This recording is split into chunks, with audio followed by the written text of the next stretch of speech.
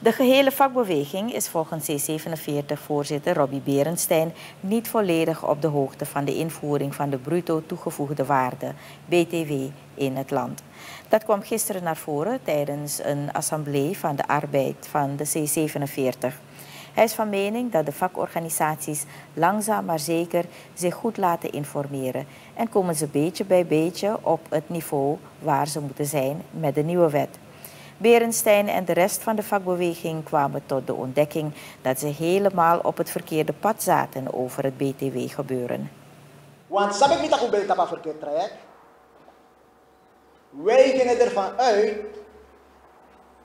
en dat is ons zo voorgezongen, dat je, ik hoor de regering nog steeds zeggen, BTW, nou moro, rechtvaardig systeem die potima. Voor de armen.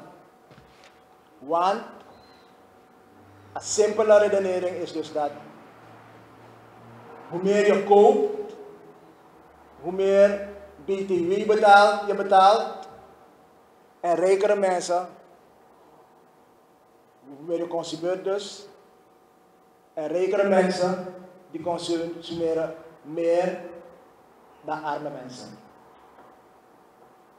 Maar rijkere mensen hebben natuurlijk ook een veel hoger inkomen. En om een vaak inkomen je maar consumeren. Om een vaak inkomen je maar consumeren.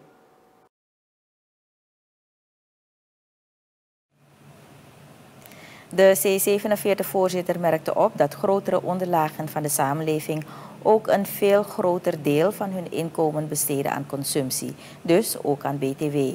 Naar zeggen van Berenstein moet er naar andere vormen van belastingen gekeken worden als de rijken de grootste lasten zouden moeten dragen. We moeten gaan naar andere belastingvormen. Die te maken hebben met hun vermogen. En niet met hun vermogen om te consumeren. En dan vermogen dat. We hebben in dat kader hebben we dus ook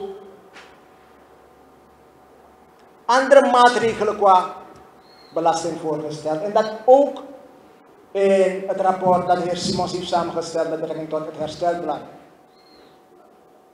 is voorgesteld, is behandeld.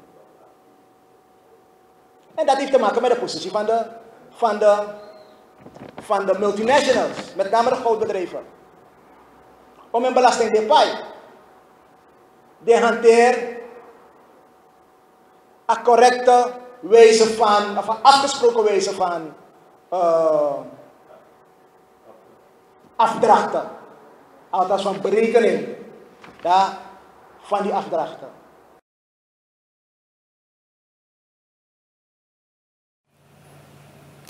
De vakbeweging heeft vermoedens dat er heel veel onjuiste zaken gebeuren. Vandaar ze hebben voorgesteld dat auditbedrijven kunnen onderzoeken om zo hogere inkomsten uit te halen.